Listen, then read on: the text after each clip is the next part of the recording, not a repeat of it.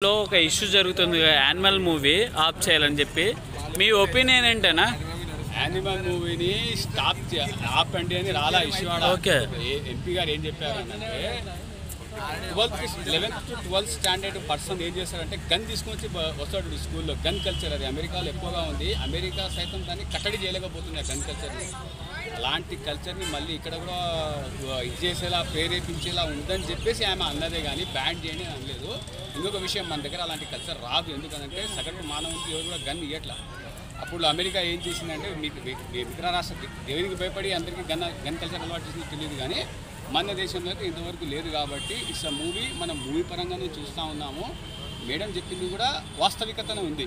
ఎందుకంటే కొంతమంది ఆమె అన్నది సినిమాని సినిమాలాగే చూడట్లేదు కొద్దిగా ఇన్స్పైర్ అవుతున్నారు అని చెప్పేసి.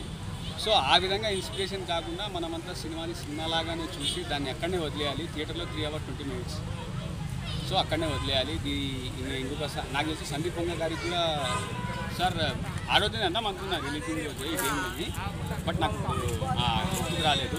పార్లమెంట్ పార్లమెంట్ కూడా తాకింది సినిమా అదే పార్లమెంట్లో మేడం అదే అన్నది. ఎందుకంటే నా పిల్లలు కూడా టెన్త్ స్టాండర్డ్ ట్వెల్త్ స్టాండర్డ్ ఉన్నారు కదా ట్వెల్త్ టెన్త్ వాళ్ళకు కూడా అంటే ఆ టైం ఆ వయసు ఆ వయసు ఇన్స్పిరేషన్ వయసు అది. ఆ వయసులో జరుగుతుందని చెప్పేసి కానీ మేడం ఇలాంటివి జరగదు నాకు తెలిసి. నెక్స్ట్ టైం ఒకవేళ సందీపంగా తీసేటట్లయితే కొన్ని జాగ్రత్తలు కూడా ఇట్లాంటి చాలా సంఘటనలు జరిగినాయి గతంలో. గత ఇప్పుడు మీకు అమెరికాలో ఎన్ని జరిగినాయి? అమెరికాలో రోజు రోజుకి రెండు మూడు జరుగుతూ ఉంటాయి. కానీ మన ఇండియాలో జరిగిన సగటుకు జరిగిన ఒక రోజుకి లెక్క చేసుకున్నా కూడా మన ఇండియాలో జరగవు కాబట్టి.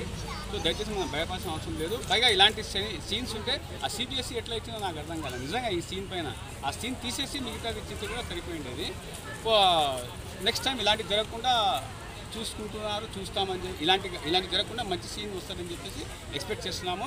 Animal two waiting I'm also waiting